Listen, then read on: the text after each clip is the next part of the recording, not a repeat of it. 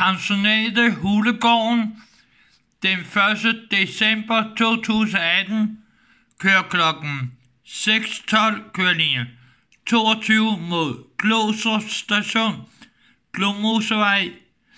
Kl. 6.17 kører linje 22 mod Husum Torv.